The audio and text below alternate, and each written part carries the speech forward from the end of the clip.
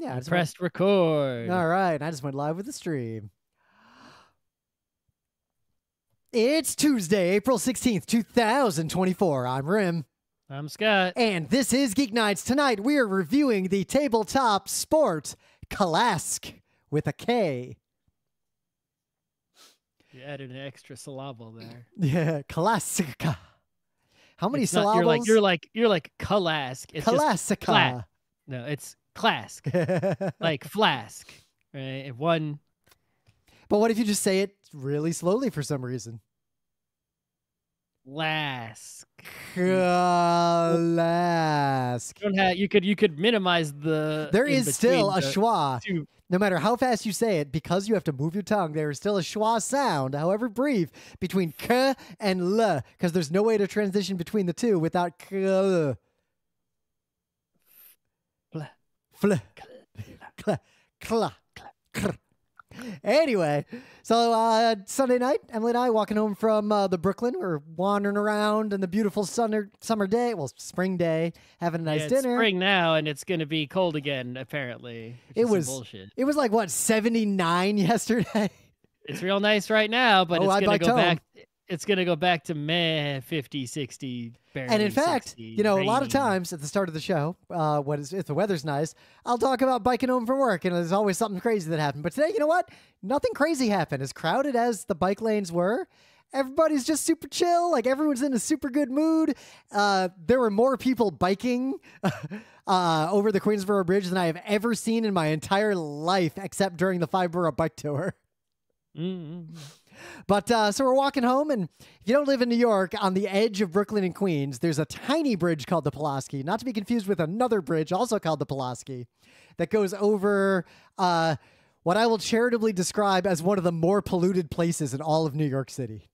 It's not the Gowanus Canal. It's No, a the- different canal. Yeah, I, one of it is one of those little canals, and it's a bad one. It's not the worst one, but it's not the best one, let's say. But You don't want to go in it. you don't want it to touch you in any capacity.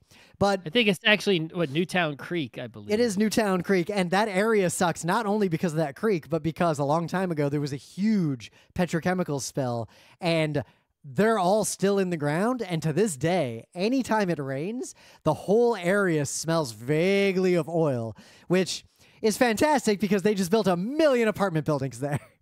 Mm. Oh, But uh, so we're walking home, and that bridge has like a long ramp, a bike lane thing on either end of it. But right at the edge of this canal, there's stairs that go under the bridge up to the top. So there's a pretty quick path to go up these stairs, go across the bridge, go down these stairs, right back into Queens. Uh, and increasingly, it used to be that place was really not sketchy in the way people who don't live in cities will think of a sketchy neighborhood. Sketchy in that it's just like this dirty industrial area full of debris. But Yeah, uh, and it's it was not a always pla- empty. It's not a place that you would go on purpose, right? Nah. It's like you just you, you know if you're going over the bridge, you're going to the ends. You're not going down that middle staircase part. I've seen some people use it, but it was never really that common. I figured know it was. I figured it was most. I figured it was mostly used by the bridge operator to get to the booth. 'cause it is Nowadays- a, it is a drawbridge. there are so many apartments over there and like breweries and things. There's every time I'm over there, there are a lot of people walking up and down all those stairs. Like they're like mm-hmm. there's always people. It's a total Oh, change. go a- go ahead, use the stairs. Yeah, maybe so we we use- get an elevator there too. Yeah, so we use the stairs, and as we're about to go up, we see a pigeon sitting in the middle of the stairs. It's no big deal, but as we approach the pigeon, the pigeon doesn't get out of the way at all. Then we realize the pigeon is in some distress. This pigeon, very clearly, as we determine later, and after some Googling, I actually figured out exactly what the compound is, must have landed on a roof that had just been covered with a very particular kind of cold sealant tar that is commonly used in New York City specifically during the rainy season. Mm, All these factors matter because this shit is awful. It basically can't be cleaned off except via extremely complicated uh, procedures, which I spent a not lot even of time not Googling. even Dawn soap, which they they no, in fact, I'm they glad we- supposedly use that to clean the the seals or they the oil do. spills. So I learned a lot about this. So number one, if you use Dawn soap to save an animal from most kinds of oils and tar type things, if you put Dawn and water on the animal, you're gonna make it worse for counterintuitive reasons. You've got to put Pure Dawn directly and do a bunch of stuff, and you only add water at the last minute. Otherwise, you're actually going to make it like set more and make it harder to remove. And that's not obvious unless you do a lot of Googling. But all I know is that Dawn is great for dishes and bite when I get bike grease on my hands. Yep. Oh, Dawn is Dawn is fantastic for the bike grease. The, the uh, any other whenever I get bike grease on the hands, my hands are all black because I didn't wear gloves or the glove broke Yep. or something. Regular any other soap I own does nothing, and So- then but Dawn, Dawn works. I would say 25% of the time when I get my hands covered in grease, it's because I was wearing gloves and they broke and I only had one pair and I wasn't going to go all the way back upstairs and I just dealt with it. The other 75% of the time, I just forgot to bring gloves down and I'm just, I don't care and I just do it and it's a mistake and I regret it every time. or I think, you know what? How much grease? I'm going to be careful. I won't get a ton of grease on my all right, hands. so you found a you found a pigeon covered in tar. Yep. So learned a bunch of things about this. Uh, the tar is hard to remove, but uh, we put the pigeon in a box. Actually, a local hotel is very kind to even help us get some gloves and everything. That uh, that fancy hotel that's right there. Uh, we got the pigeon home, and we learned a couple things. If you find an injured squirrel, robin, sparrow, pigeon, starling, or seagull, New York City on 3 1 actually has a very specific procedure and tell you very specific people to call. And if you can drop the animal off, they will absolutely help the animal out and they want you I to find that this. really interesting because like you think of those as like the the animals that like are are sort of beneath caring about like Mhm. they're just so you know it's it's like oh yes i found a i found a suffering earthworm it's like a squirrel isn't really or a pigeon or sort of and rat are like on the lowest level of like you know it's not like you found an owl or an eagle Yeah. or Oh, there's a uh, different section for if you find one of them. yeah, some like an actual animal that peop- some human gives a shit about because it's rarer or bigger or smarter or less common. Uh, I, I said rare already. you get what I understand. Yeah. People, you know, classify animals into different levels because of human reasons when actually all animals are basically equal. Yeah. I mean, what was that that lecture I keep. I post a lot in all the discords I'm in and talk about a lot. Uh, but the one that talks about like what's the line of consciousness, and the answer was basically pretty much anything that's warm blooded is definitely conscious to some degree, and the difference between all of Yeah. them is way anyway- smaller than humans act like. The point is, people want to save the whales. They don't want to save the squirrels. Yep. so yeah, New York City, like there's a thing you can do, but we even found a better one. Now, they still need to change the name. There's an unrelated controversy where the Audubon Society is a fantastic organization that does a lot of good for birds and conservation, but it's named after Audubon, who wasn't just like problematic because it was olden times. He was like actively on the wrong side of history. This dude wasn't just had slaves. This dude was like pro having slaves. Yeah, it's like, didn't the only good thing he do was draw a bunch of bird pictures? Yeah, and uh but otherwise like he, he, he, he drew pictures of lots of birds, right? Yeah. And then he got his name on the Bird Society. and basically because the bird society has a lot of white people in it and because they thought people for a lot of stupid reasons they won't change the name of the audubon society despite the fact that it's basically the guy who didn't just own slaves but fucking loved slavery and loved to talk about it society but uh name notwithstanding they also have a specific new york city thing there's a there's a place in Manhattan on Columbus Avenue. You don't even need to make an Oh, appointment. He was good at drawing birds, though. Oh yeah, he was real good at it. I mean, Thomas Jefferson was real good at making stupid ideas sound smart, regardless of his other problems. but the Wild Bird Fund on Columbus Avenue, if you find any injured bird, you can just show up there and they will totally help you out. And Any we- bird? pretty much any bird, they they just do. If you've got an injured bird, take it here. We'll try to help. Mm, that what's their capacity of bird acceptance? Well, usually when, uh, the problem is a lot of those places, right? It's like they have limited, you know, capacity resources, and so they're they're in this place like New York City, they're usually inundated, and they sort of had to be picky and choosy. You know? Ah, so there is a surprisingly extensive network of people, kind of like how like we help with rabbit rescue sometimes. Like there's people who dedicate themselves to like I'll foster or I'll volunteer or like I'll accept an animal of a type that I am familiar with after a shelter has like done the hard part just to like get them back into the wild or do whatever. There is a substantial network of people who do this for pigeons in the city.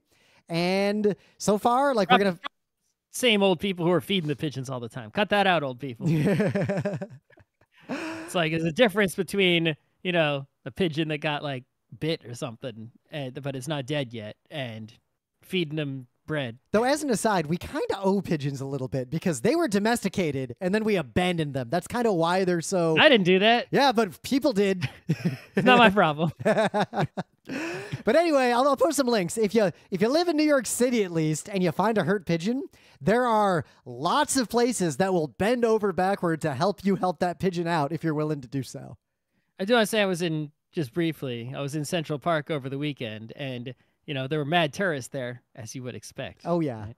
And uh, it was funny to me how many tourists were like enjoying the squirrels. Right? I It's enjoy like- squirrels to this day. I will stop no, and no, watch a no, no, squirrel. no. But it's like it's like I'm out there looking at like you know fancy bird and like that you don't see every day.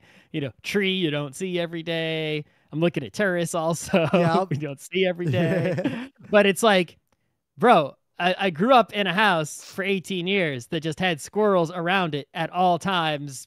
Like, maybe not in the winter, but basically anytime it was warm enough for a squirrel to come out the tree, I could look out the window and there was a squirrel always there at all times.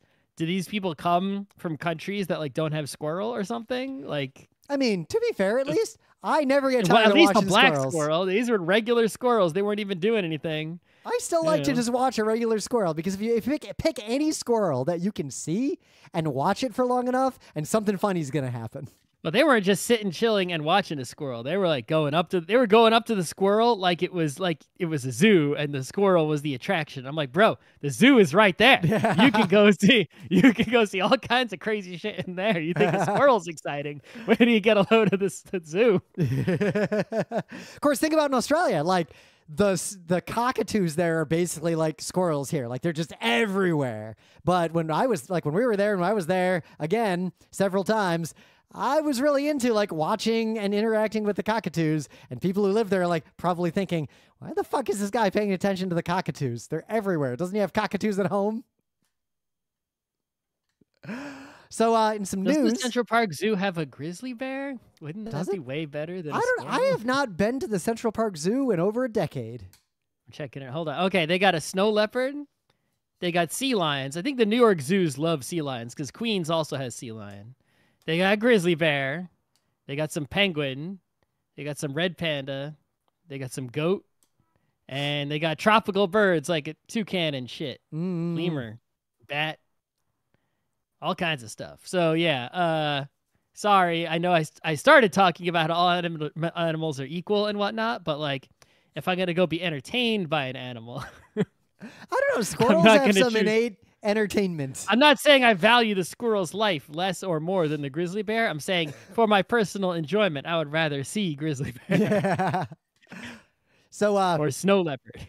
in some news, uh, as of a hockey game that we just watched, the last hockey game of the season for the New York Rangers. Regular season, Yep. Now, now there's a different kind of the season. not the irregular season. Yep. The the be- the best kind of hockey is about to happen. The playoffs. Which, if you're not a hockey fan, the difference between not just the vibe, because you expect the vibe to be different in any sport between the playoffs and the regular game, but like the way the game is played is different. Like it's such a different experience that playoff hockey is almost like its own thing. Well, the rules are slightly different, and that the overtime is different. Yep.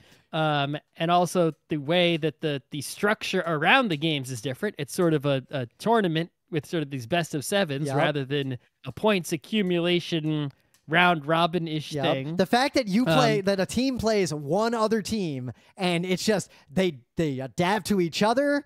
You get one of you is going to move on and one of you is not, and you're only playing against each other. Nothing matters, but can you beat this one team right Yep. now? and you know the players uh, care a lot more and they try a lot harder. Yep. And so the game is played differently than it is, even though the most of the rules are the same. They don't play it the same. And then, you know, everyone in the crowd is different. So, you know, Yep. So uh, the Rangers, their last game was a shutout for Mr. Igor Shesterkin. They won the President's Trophy. They set a whole that, bunch of that means if you don't know, that means that they are literally and if you look at only the regular season, they had the most points, so they were the best possible out of 32 hockey teams, they were number 1. The best hockey team. If you only look at the actual results and you don't care about how the games react. How did they get those points? No, we're not thinking about that. Yeah, looking at you, Caps, with what like 16 OTL points or whatever. Right. You're not caring about how the game, what happened in the games. Like, did they? Right. It's like you could have a team that could get. Let's see. this, you know, in the in the 82 games, you could have a team that wins, say like you know, 50 games right? And like demolishes their opponents in 50 games. And then and the other 32 games loses by like one, right? Yep. And you got to think that's a pretty good team, right? They either dominated shitty teams or they lost. When they lost, it was a close loss and they still got like 104 points. That's playoff numbers, right? That's Yep. a great team, right? You could have another team that has 60 wins. And the 60 wins, they like got by the skin of their teeth each and every one of those wins. They had a lot of overtime wins, Yeah. shootout wins, and all the other games, the other 22 games they lost, they got demolished. Like and they lost to shitty teams and they got beat beat up by shitty teams. now, the second team is going to have more points and is going to win the president's trophy. But when you look at the games, you got to say the team that had 8 fewer wins is obviously the better team. You're more scared to play them Yep. than you're scared of the other team with more points. But then you also get the paper rock scissors of some teams do things that other teams struggle with to where a team that's bad worse in most hockey attributes than another team might beat one very specific team in the playoffs because the thing they're good at is a thing that is like the counter to that other team's whole deal. Well, you never know. So we're gonna find so out. uh yeah, this is this is the best the Rangers have looked in the entire Just the time I've lived time in New they York won City. the President's Trophy in 2015. I think so. I was looking at the right. I think the Red Wings have the most President's trophies with six. Mm. I got. I got. I got to look the at the President's Trophy again. isn't that old. It used to just be called the regular season championship. Yep. So And you'd have to you'd have to include those as well somehow. and while a lot of people like to talk about this, there used to like the hockey fans like to talk about the curse. Like, oh, having winning the President's Trophy means No, you- it's not actually cursed. You, Yep. you- you- statistically the teams that win it do very well in the playoffs historically. although last year the Boston Bruins won it and went out in the first round. So. Yep. It Teams have won anything. it and gotten swept out of the first round. Teams have won it and won the cup. Like it's all over the place. The only benefit of winning it means that no matter what, every game, every series the Rangers play in this playoff, which could be between one and four, Yep. they will have home ice advantage. So four of the seven games, if you need all seven games, will take place at Madison Square Garden and not somewhere else. Real great for us with our half season tickets. That's yes, that means we will have more chances to go. So, in a little uh, quickie news too, uh, more sports on the Tuesday gaming day. Uh, one of the NHL teams just up and left. The Coyotes Well, are well. It's, it's complicated. been it's been brewing. It's been brewing, but now it's they're in the Boston. brew. The brew is being poured now. right? Yeah, this is. It's actually a really complicated deal too. Like, so Well, to summarize as best I can, the Coyotes, the Coyotes, are moving to Salt Lake City because they weren't like there was some trouble with the team. I think they weren't making. no. they- So first of all, they had shitty attendance. Yep. And the owner is a, the organization was it was a, a mess, right? A Yep. dela- you know, and they fucked up in the arena, and the arena kicked them out, so they didn't have anywhere to play. So they go ahead and they managed to get Arizona University to let them play in the college arena, which is uh, a problem, right? It's it's not big. It's you know they were able to fill it. They actually had more attendance, I think, than at the big maybe. Look, I, they- I have filled this quarter teaspoon. Praise so me. there was some there were some positives to it, but it's like you can't be having a professional team in the best league playing in a college arena. That doesn't work, right? And and the players were upset with it. It was not sustainable.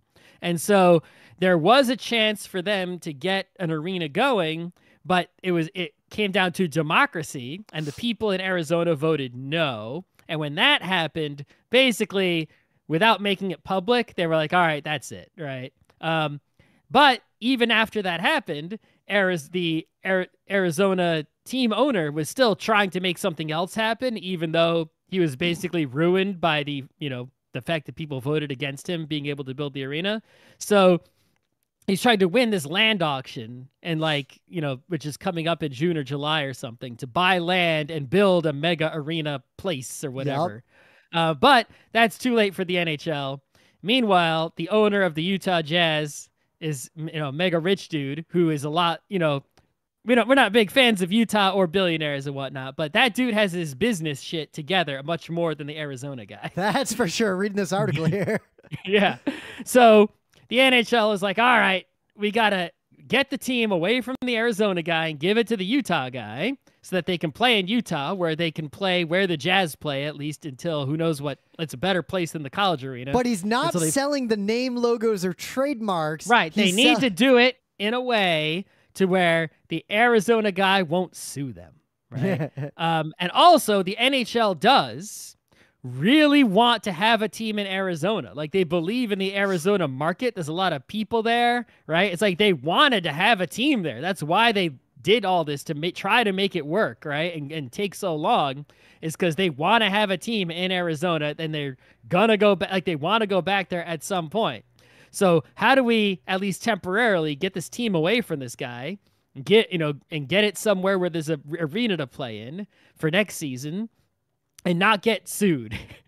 uh, and so you, there is a way that they can like take someone's team away, but that would be very difficult, and lawyers would fight. Yep. So they're like, fine, we'll give this guy a shit ton of money. We'll let him keep the name and the rights and all and whatnot. And then the Uh, AHL team that's still in Arizona, the Tucson Yeah. Roadrunners. Yep. All, we'll let him keep all kinds of stuff, and but we're going to take away basically the hockey operations part, all the players and the Yep. coaches and, the, the, and those hockey staff, and move them to Salt Lake. Uh, and this new guy will basically buy, you know, the team from us, and then Arizona guy, if you get your shit together in the future, you can basically give us the billion dollars back, right? And we'll give you a new franchise deal Yep. that you could reuse Which your would then exist- trigger an expansion draft, which fine, like the NHL has done that, like they they figured out how to do those well. But also, there's a five year time limit, and if at the end of five years no new team has triggered an expansion draft there, then he, he basically loses this right forever, as far as I can tell. Yeah they're basically like yeah they, they they that's what the nhl wants to happen right is Yeah. they want him to fail so that they can get someone else to do a team in arizona they don't they want to be in arizona they want to get away from this guy and Yep. and Um, meanwhile, this guy, the only way to get this franchise expansion to happen for him, he's got to build a what is targeted to be a three billion dollar entertainment center on some land he doesn't own. Yep.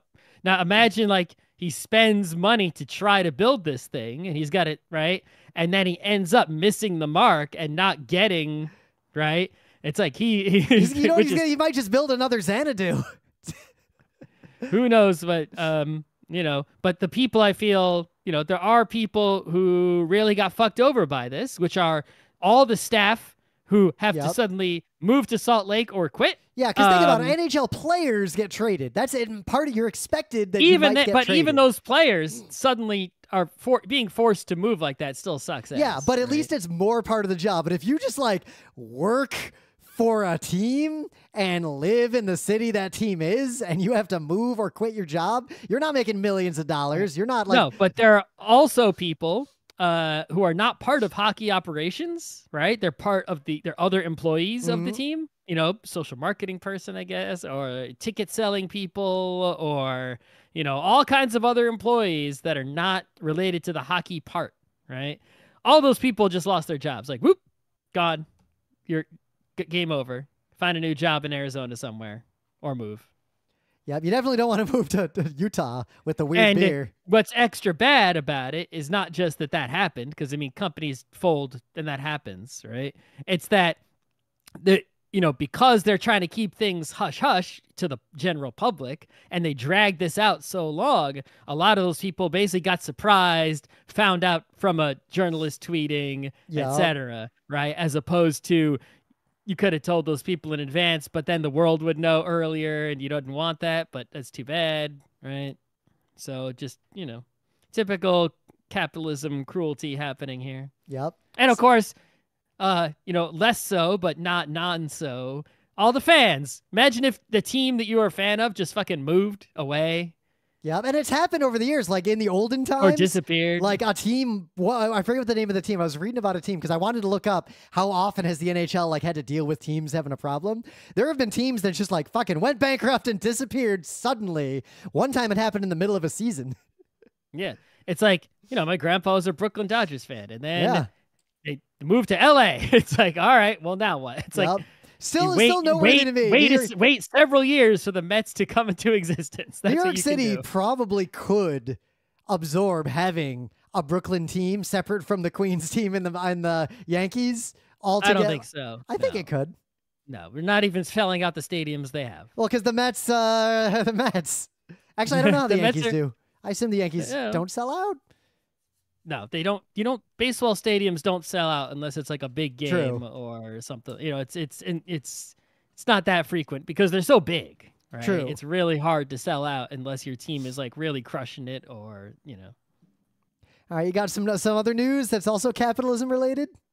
Uh, we might. So, uh, Apple has done a good thing, and they're like, "Hey, you know what? We're gonna let you have uh, emulators for old school game consoles in the App Store. Obviously, no ROMs, right? Come on, it's like, yeah, you can't be doing that unless Nintendo wants to sell ROMs. They can do that, but you know, or whoever the ga- actual owner of the game can sell the ROMs. But no, you can't be selling ROMs in the App Store. But it's legal to have, you know, Nesticle. I guess Apple wouldn't let uh, Nesticle with, its, with its icon in there, but you know, if you if you want to put an emulator in the App Store, they're gonna let you do it.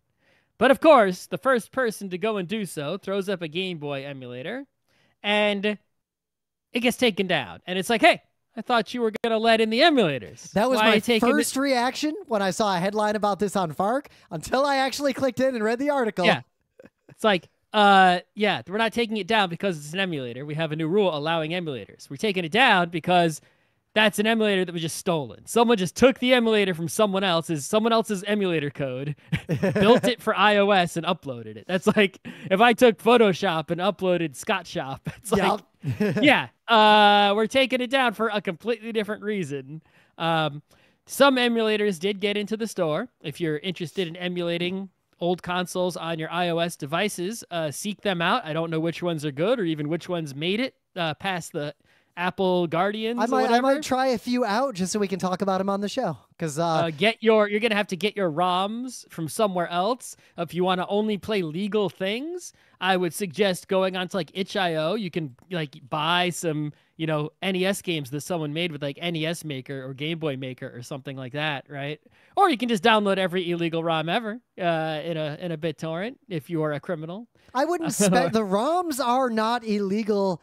The transfer of them is illegal. They're not illegal ROMs. They're just ROMs. If you move Sure. them somewhere, You can back up your you can buy a backup thing and back up your own cartridges. I guess all, all I'm gonna say is that every ROM of every NES game that was ever released in North America, plus a number of Japanese ones, is 155 megabytes unzipped. Yeah. So they're- these Personally, are not I have- big. Yeah. Personally, I have no interest actually because I have, you know, upgraded Game Boy, you know, DSs. I got all kinds of devices on which, you know, I just got the this RetroTINK that makes that lets me convert basically any kind of old video out to upscaled HDMI. Oh yeah, yeah. I saw you posting plugged- that it, it works I, pretty good. I plugged I plugged the Wii into it just now. It worked great. Uh, it actually worked great for uh, GameCube, even better than Wii. Um, Whoa. and I'm gonna I could you could plug NES into that. You could even it basically takes in SCART, RCA, component, S video. So basically all the old ones, upscaled HDMI. Um, so I, hopefully that'll just carry me forever because I don't think there's be any new devices. I would definitely have bought the exact device you bought, except I went the opposite route and actually got rid of all my old consoles. Yeah, well, you know, uh, there may be a, an occasional need to have an old device, and this makes it so you don't have to mod those devices. Anyway, the point is, I don't need emulators because I have all that shit instead. Yep. One last little news, not to dwell on it, but uh, you know, Visions of Mana is coming out. It is a the Seiken Densetsu game series. It's going to be the latest one in that uh, long-running, uh, incredibly iconic. Yeah, incredibly long running iconic series where there was really only one mega iconic game, The Secret of Mana. Yep. And the other ones weren't so iconic. Well, the Game Boy ones were super popular and widely played in both the U.S. and and uh, Japan. I did I do like the, the Game Boy. But one. in the U.S., for the for anyone who listens to Geek Nights, I'd be surprised if you'd be unaware of this specifically. But they were because that Seiken Seiken Densetsu was not a brand in the U.S., so they were branded Well, wasn't the it U.S. wasn't it Saga Saga first? Uh, uh, yes, that was that was no. Those Saga was Final Fantasy Legend in the U.S. They rebranded all this shit as Final Fantasy Oh, because that was the okay. biggest brand in the U.S. I think Saga was rebranded as Final Fantasy Legend, so one, two, and three. But these games were rebranded and reskinned to have characters that looked like Final Fantasy characters in the U.S. as Final Fantasy Adventure on the Game Boy. Mhm. But Yeah. anyway, uh, yeah, Secret of Mana was like the biggest one. I have memories of like you and Katsu just trying to beat it over the course of a week in Wildwood at one Still point. still never beat it. I've never beaten it. Every time we've gotten a group together and tried, we peter out after like eight hours. anyway, uh, the newest one is coming out, uh, and three days ago, the official Japanese trailer for this game was released. I'll link to it. The trailer is three minutes and eight seconds long, and it shows, I'm going to say, zero footage from Visions of Mana. And yet, and yet, it is possibly what it is either the most full of itself and pretentious trailer of all time, or they're pulling a sort of Cowboy Bebop, you know, the show that was like, yeah, we made a new genre, eat it, right in the beginning. This trailer is basically, yeah, we made one of the best fucking most popular games ever that affected people in a big way. And our entire marketing pitch is remember Mana games? Remember that shit? Well, here's the one. Yeah, they could have. Who knows if this game is actually any fucking good, right? It's just they're just trying to be like nostalgia. Please buy this game. but they the way they pro- the, this is a very well produced trailer uh, the other thing that's noteworthy this trailer is 95% live action and nobody is in costumes okay. Anyway, things of the day. Uh, I just found this channel randomly and it's super cute. Uh, SQFT Fish. And this is a tiny little 30 second video. And a little fish uh, asks a little crab for a ride. And a little bit of drama ensues in 29 seconds. And it's just super cute. And I learned something about that kind of crab and that kind of fish. Okay. Uh, so way back in the day, there was a game called Descent, and then there was Descent Two, and then there was the much lesser known Descent Three. But I bought Descent Three as soon as it came out on two CD-ROMs. And I, I know. The I want to say you still had those CD-ROMs in RIT because you brought Descent I, up a I still lot. have. The, I still have them now. But you you you brought Descent up about as often as I brought up Aerobiz back then. Eh, the point is, I have Descent 3. I still have the discs. We could play it if you want. Um, but somebody uh, took the source code for Descent 3 that has apparently been as somewhat recently patched and like actually worked on Windows and Mac OS like a few years ago because someone patched it. And they only had to remove like a couple libraries from Interplay um, that were obviously proprietary that allow you to play the cutscenes. And he's like, hey, you know, maybe we could work on replacing that code so we can actually see the cutscenes and decode the videos because they have like a custom video format or something.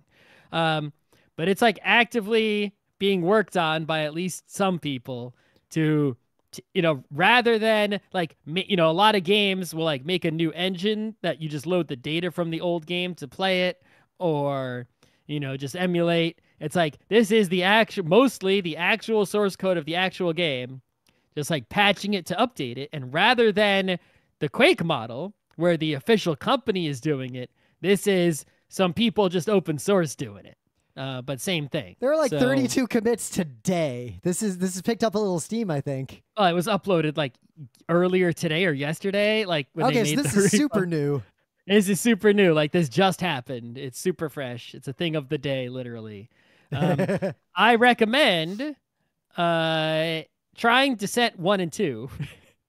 and if you enjoy, then Descent 3. And, and you can get all these, I think, on GOG.com very easily. Pretty sure I Um, got them on GOG and just never played them on a modern computer. If you have an account on GOG, you probably have Descent One Two Three. yeah. But uh, yeah, there really isn't, you know, aren't games like Descent. You know, there have been some people making a few, but they are not Yeah, like there's there's game. lots of games that are like Doom. There's lots of games that are like Quake and like like Unreal Tournament. But there's a lot less that are like Descent. Exactly. Descent was there's a lot of uniqueness that's out of scope for things of the day and a show that's already running long because sure in we the did a meta- show on Descent. In the meta moment, the Geek Nights Book Club book, Walk On, uh, The Night is Short, Walk On Girl. Uh, within a few weeks, we'll do it. Uh, no show this Thursday because I'm out of town to help my mom with Oh, the okay. thing. So I'm flying out to Well. Detroit on Thursday. I'll be back Well, on I got Sunday. I got plenty of time because now there's no hockey to eat up my evenings Yep. for- until the playoffs start, which will be probably probably we don't know the schedule yet, but probably Sunday at the soonest. So Yep, and I got uh, two flights plus about eight hours of hanging out in a hospital waiting room for, to be clear, like not a dire thing, but like a thing that is a success story that's going well. But I get to sit in a hospital for a while to wait. yeah, so well, I'll probably finish the whole book there. when you come back. I'll be back Sunday, so Geek Nights should resume as normal on Monday, unless I'm somehow tired and burnt out from the trip, which is unlikely, in which case Geek Nights can resume on Wednesday, and I'll just have to Well, read I guess something. if there's a playoff game Sunday, you're not going. If there is a playoff game Sunday, I am not going.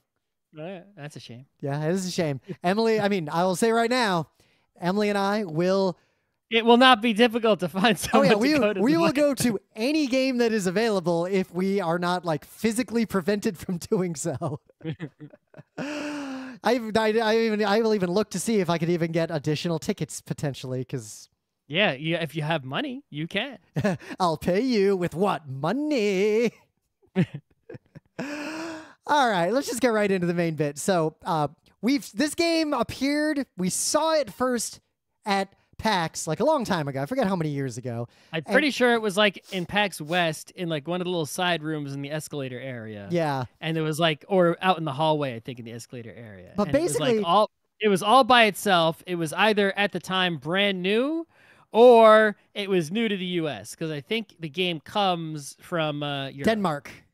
Yes, it's a Dutch game. It's apparently a popular Danish pub game? game? in Denmark. Mm.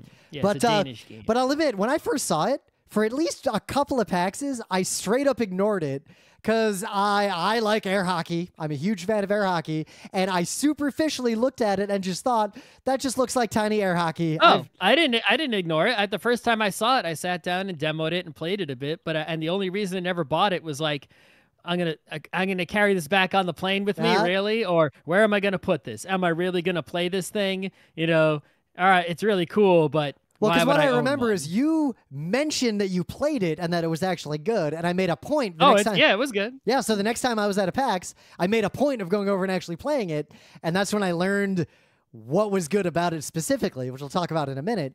Uh, but again, I had the same thought Scott did. Ooh, this is really fun. I could see myself playing this. Do I, I don't really want to put it in my suitcase. How often? Where? Yep. When? So fast forward further, uh, every time I'm at a PAX from this point forward, I'd play it a few times if like I was walking by with people. And at the most recent PAX Unplugged, Emily and I and a bunch of our friends sat, or no, with the PAX West we did this. We sat down on our own at the Klask area because not the guy who invented Klask or like owns the company, but like the guy who, as best we could tell, runs the competitive scene in America for Klask. He was like running the table. So he didn't just like let us play. He facilitated our play, taught us techniques, and just like hung out with us for about an hour and a half while we all just played Klask over and over and over again. Uh, Emily is scarily good at Klask. Uh, she beats me reliably still. But uh, after that, I went from I'd like to own this, but I don't want to fly home with it to I really want to own this, but I'm worried that it'll sit in my apartment and take up space. Mm-hmm. Then, but then coming into my lap was a couple hundred dollars worth of uh, free money for Millennium Games, and I saw Klask MSRP just sitting right there, and I had a car, so I thought, you know what, fuck it. And I got it, and we played it a bunch already. I'm getting better. I've learned some things about it, and I feel like Emily and I are intentionally going to cause the air hockey problem for ourselves in this game, the same way you and I did unintentionally for air hockey. So the game of Klask, what is up with this game? So you have this little table, and you actually put your hand underneath the table, and in your hand you hold a magnet on a stick. A strong on- magnet, like it's a pretty Yes, it's- beefy magnet. It's pretty strong. It's not like neodymium, but it's pretty strong. It goes. It's strong enough to go through wood. Yeah. right? And so on top of the table, you have this sort of black pawn with a really tall hat, um, and you attach your magnet to that, and you can move it around. So it's like you know, in air hockey or, you know, knock hockey, it's sort of like your actual body has to go Mhm. into the field, your arm or at least, and that sort of can interfere with the game. Yep. Whereas here, because you're controlling this sort of avatar, like a little athlete guy, it's a little bit more like um, what's the one with the spinny soccer guys? Oh, foosball? Foosball. It's a little bit more like foosball, where like Yep. or or uh, what's it called? Uh, air, uh, hockey with the you know with the sticks, the bubble hockey. I've always just Um, called that bubble hockey. I don't know what is if slot hockey I've I heard don't it know called what it- too. Yeah, but it's a little bit more like that, where you're sort of like remote controlling this guy. Um, you're you're and you're not interfering in any way. And so you move this. That's all you can do to play the game is move your hand with this magnet. You can't interfere with it in any other way. It's not allowed, right? And so Seems like it is just called bubble hockey. Slot hockey is not a common name for it. All right, so in the playing field, you have these basically t- a circular indentation, right? It's sort of like a like, almost like a golf hole. Yep. It's not very shallow, and there's a ball, and if that ball, the ball is not magnetic in any way, so it's just a plastic ball, and you can knock that ball around using your little guy. All right, so if you you move your guy quickly and he hits the ball, you can hit the right, and if you get the ball into the other person's indentation. It's a lot like the indentation on a crokinole. Yeah. And then you get a point for doing that. And so you're playing basically a hockey game. And underneath the table, you don't even need a rule for this because underneath the table, there's a wooden barrier. So you physically cannot get your guy past the halfway line Yup. because your hand can't your hand can't get through. It, there's no way to get over there. Right? Now, before we even get into the other rules, that alone is pretty air hockey adjacent, but even if there were no other rules, this introduces significant gameplay consequences that might not be obvious. So, number one, games like air hockey, where your hand's right in there, this also means your raw strength and power are directly applied to the game with no limits. So, in air mm-hmm. hockey, one, that can lead to injury. Like, I've hurt myself pretty badly playing air hockey before. But 2 it mm. means if you're really strong or hyper aggressive, that can be a dominant strategy against someone who isn't super strong or isn't hyper aggressive. With the magnet system in a game like this, if you try to be hyper aggressive, your magnet will disconnect itself with your violence from your little guy and you kind of screw yourself. Or Also, the playing field is so small, right? It's not Yup. like a big air hockey table where like the power has. yeah, when I do a power shot in air hockey. I, it's like I am swinging a sword as hard as I can with my whole body. right. Like, what's the size of a Klask table? Like a foot, a little over a foot long. It's not. It's not that big. Yeah. right? less than two feet. I want to say. Um, and it's not very wide either. Maybe it's a foot wide by like maybe it's a legal piece of paper, a little bit bigger than that. a little bit bigger than that, but it's small. Like it fits in. It fits. It's about this. It's smaller than our HTPC, and it just fits next to it. Yeah, it's it's not large, so you don't really have space to use that power. And even if you had more power, how would it help you? Right? Yup. It's like the flick of a wrist is about max power in Klask. You don't Yup. need more than that. It would make no sense. But A because human- it's an indentation. Mm-hmm. Uh, instead of a goal in air hockey, if you hit the goal, it goes in, no matter how fast it's going. Here, if you hit the ball super fast, it's going to bounce right out of that little hole, and you don't score anything. Yep, that's true. So it's about a deft so- hand. it's about precision. Uh, and already, so this is significant good gameplay just from those rules. Now there are additional And rules. significantly different from other games like it. Yep. And you basically just play really simple like Pong rules, like first to 6 Mhm. right? And that's that's it. So that's already a fun game. But then Klask goes to the next level and adds something extra. right? In the middle of the field are these three evenly spaced white little knobblies. And those knobblies have magnets in them. Well, the, but very importantly, they have magnets on one side. They Mhm. start Mhm. facing up on the top, and the other side does not have a magnet. So they're asymmetrical. That is very important. Yep. And so what's up with these? Well, obviously, they're obstacles. They can sort of get in the way of the ball and also get in the way of your guy, Yep. right? Because they're, you know, it's like you try to hit the ball straight at their goal. If you hit it right down the middle, well, one of the things starts in the middle, so that's not going to work, right? Um, but two, there is a special rule, which is that if two of those little magnet guys become attached to your guy, right, you lose a point. The ball doesn't matter. It's an alternate victory condition. If two out of three of those are stuck to you, because remember, you're holding a magnet, your dude, your player is Yep. magnetic. And if you And- even get close to these things, they start, you can see them like quivering in anticipation. And then Yeah. if you get a little closer, they will fly at your guy and stick to him so fast you can't react to it. Yep. I mean, it's the speed of magnets. It's faster than the speed of human muscles. so, um, yeah, if two of them get stuck to you, you're in trouble. So, if you can send them into the other player's play area away from their starting position, the other player's movement will become very restricted. Like, let's say you get them all on like the left side of the other player's field, and then you try to bounce the ball off over into that area and try to bank it into the goal. How are they going to go to defend? If they try to go to defend, maybe they'll stop the ball from going in the goal. Maybe they won't. But if two of those things get stuck to them, that's the same as scoring a goal. Yep. So what do you care, right? You could put people in tough situations if you can knock those things to their side of the field. Um, let's say the other player is trying to play the ball, right, and like build up a shot. Just you know, meanwhile, these three things are sitting in the middle of the field, just sitting there.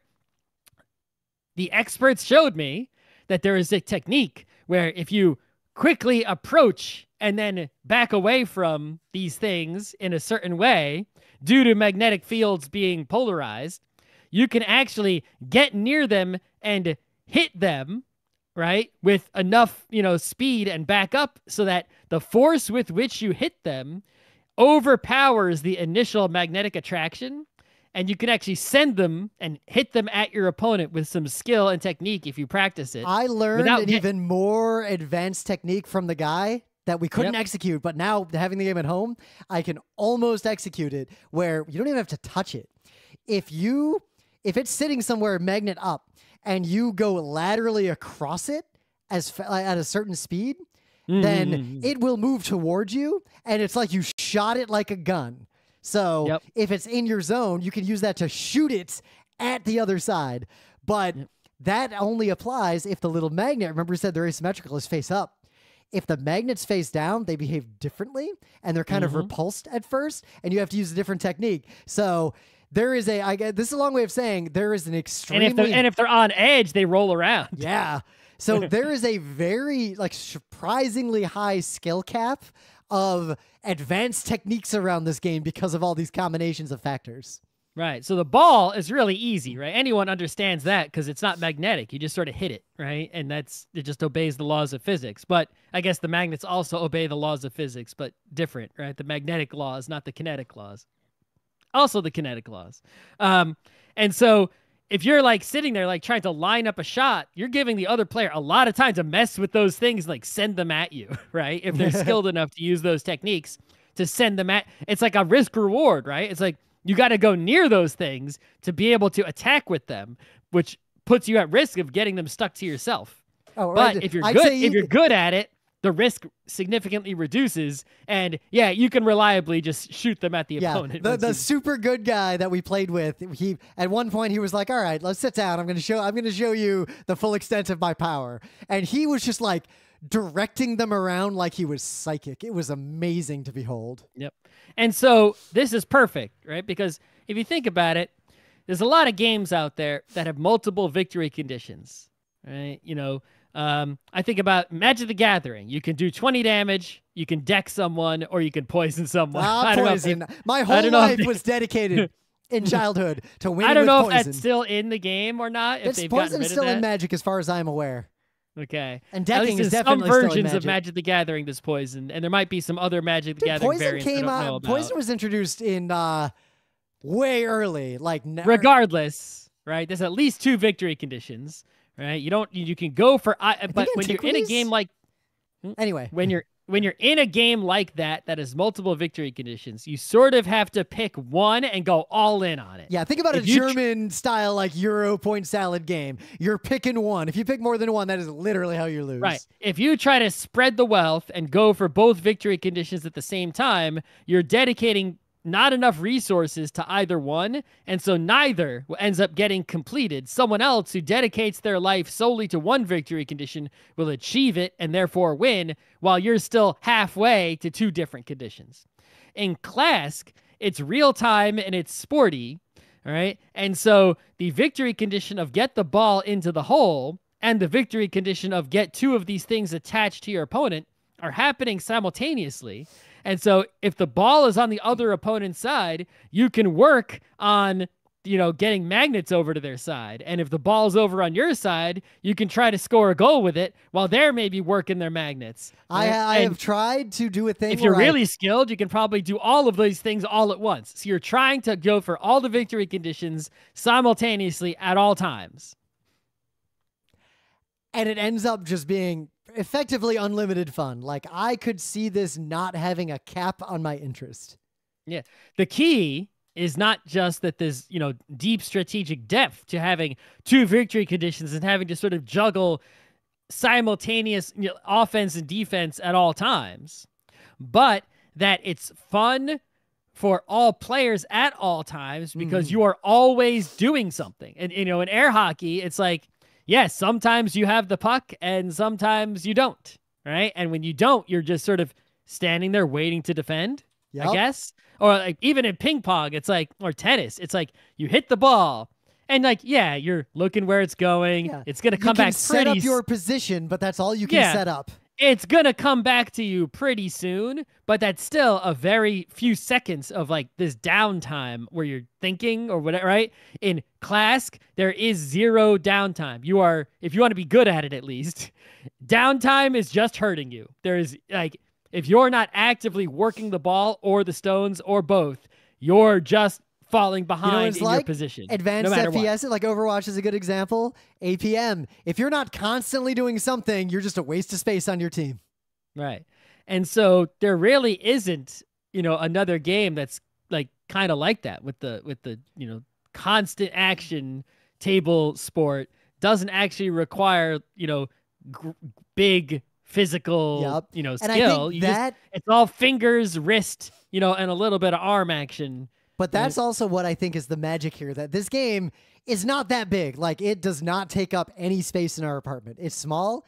And having bought one now, instead of just using the ones that are out at a PAX, it's super well constructed. Like, Mhm. it's the this is not chintzy. It's very le- if it's not level, they it's your make- fault. It's not Yeah, its fault. you should make sure you buy. There might be bootleg Klasks. I don't know.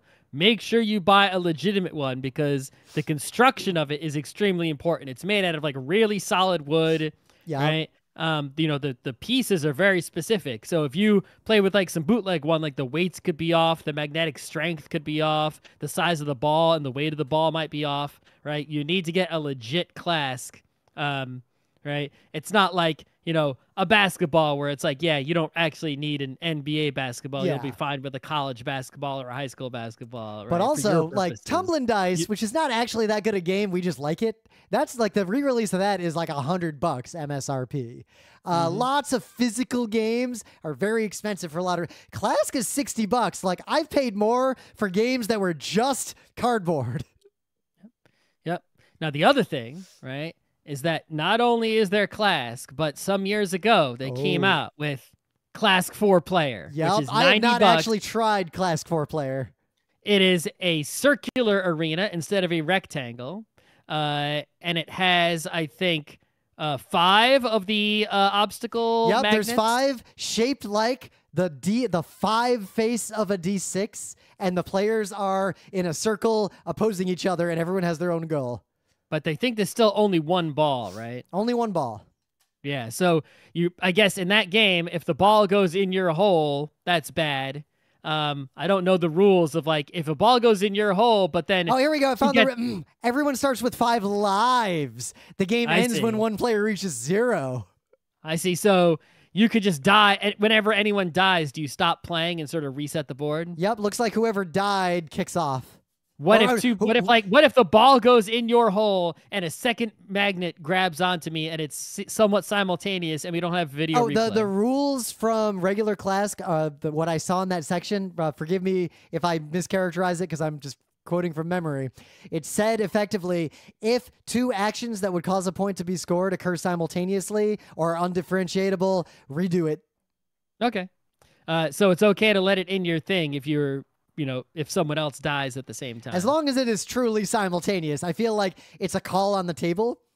Yeah, I would think so. You- Like in you a know, pro and if it- tournament, obviously you're gonna have a ref. Going to have video case. replay in a pro tournament, Yeah. and it's going to be resolved, right? There are, I would suggest if you go on YouTube or the internet and look for Klask Pro Play, there's plenty of it to watch, right? This game has grown and gotten serious. Like there are people who are like really playing this for real. Uh, That's kind of why I want I, we got it to play it and get good at it because as much as I love air hockey, when I go to PAX, there ain't gonna be an air hockey table there. Like I very Yeah, few. I don't know if the four-player Klask has too much serious competitive play because it can get political. Yep. But the two-player Klask has like serious tournaments that happen. Um, you can, I think, you can even win some prizes maybe if you become the best at Klask in the world. That Not, is- it can't be that big, but But that's kind of why I got it at home. Much like having DDR at home, there's also DDR machine, at least there used to be in the wild.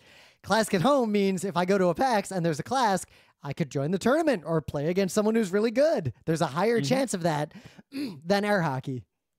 I would also recommend if you buy a Klask, right, that they do sell a spare parts package that has extra balls, magnets, pieces.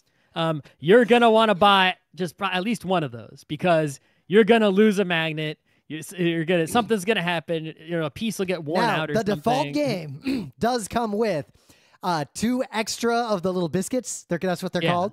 Two Okay. balls. Uh, so yeah, you have an extra, you have an extra ball the- and an extra yeah. biscuit. But if you're really gonna, if you don't play Klask enough to burn through those spare parts and need more, Yup. you didn't play the Klask enough to be worth buying. right? Unless you live in a tiny New York apartment where it's kind of impossible to lose a biscuit because there's not that many square feet it could go into. I guess unless it like rolls under the molding into the wall, then it's gone forever. I suppose you. Can, the other thing is, uh, another good thing to have if you're playing Klask is an extending magnet stick because if you drop pieces onto the ground other than the ball, you can retrieve biscuits and things from that's from a good underneath idea. the, from underneath the table with your extending magnet stick. That's a Um, good idea. and The that other- can help you stay that can help you stay seated while playing Klask the other thing is that even if you don't permanently lose any of your pieces and need replacements just having spare Klask parts next to you it's like let's say you're playing a Klask and a biscuit goes flying into the kitchen it's like all right you just grab a spare biscuit and you keep playing and you go later collecting all the ones Yeah. that went flying Well, like when you play ping Right. pong, usually, unless you're playing in a super serious tournament, you're holding, if you're right handed, you're holding two or three extra balls just in your left hand so you can just serve right away and not have to wait to pick up all the balls every point. Yeah, if you're playing tennis, there's ball people around the, the edges of the court, right? Who grab and toss new balls to you, and you know, Yep. you even keep some in your pocket anyway. But when I was playing So- one on one tennis, like with my brother when we were kids, a lot of times we both just be holding the ball in our offhand just to be able to quickly get back to play. Yep. So that's a that's a good reason to buy a few extra Klask bits if you're going hard on the Klask. The last thing, if you're going hard on the Klask, I'd recommend you get is get a small pack of shims, like furniture shims, just so that whatever whatever surface you put classic on, you can level it appropriately because the game I is thought it best. came with a I thought it came with a couple. It didn't come with any shims. It did go well. It comes with the rule book, and the guy said, "Oh yeah, just use the rule book as a shim. Usually that'll Ah. work." But yeah, the Klask you if you buy a legit Klask, all the ones that I've seen have been very well leveled and constructed. So if your table is level and smooth and your the building you're in is level and smooth and etc., you shouldn't need any kind of shimmage going on. But yep. that is obviously not the case. You might bring your Klask somewhere. You might have a meh table. Who knows? There might be an earthquake. I don't know. um, and yeah, you're gonna want to s- somehow have some mechanism to level the Klask, even by a really tiny little level, right? And so that way you can check to make sure the Klask is is flat when you set it up. Yeah, I don't think they've never used this in the Omegathon. I feel like this would be a really good Omegathon finale at some point. Really, it's never been Omega. I don't think it has been. If it has, I didn't see it. A listener just asked, and I my gut reaction was no, because I feel like I remember every Omega. It's been around like a long time, but I think it's worth talking about now, not just because you bought it recently, finally, but because I've seen it gaining steam over the years. It's only gotten bigger. Yep. um, which is kind of surprising, right? That like you think that like this cute little game would be like sort of this novelty, right? Rather than like a long-lasting thing and a scene built up around it and is is growing. So, uh, you know, now it is like peak Klask, you know, even though it's at least Man, How YouTube, old is your it search already? is like getting. So I searched for like just Klask Omegathon Final, and without saying, "Oh, well, Klask didn't appear in the search." It returned a video that is the video of Black Emperor. Oh, so thank you. Classic is Classic is from 2014, and so it's 10 years old. Another great reason to talk about Classic. Oh. 10 year anniversary of Classic. Yeah. So uh, if any of you are at a PAX and there's a Klask, I'll play with you because uh, I want to show right. off that I'm going to be slightly better than the average Klasker because I own it. Yep. All right. And